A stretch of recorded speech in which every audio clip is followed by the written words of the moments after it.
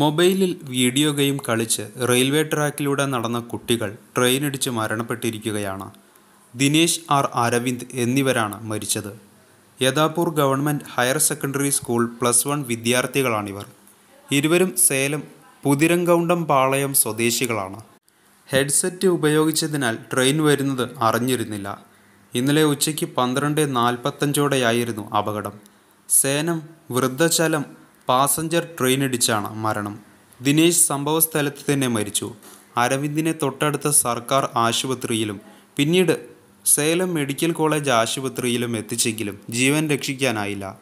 Salem police കേസെടുത്തിട്ടുണ്ട്.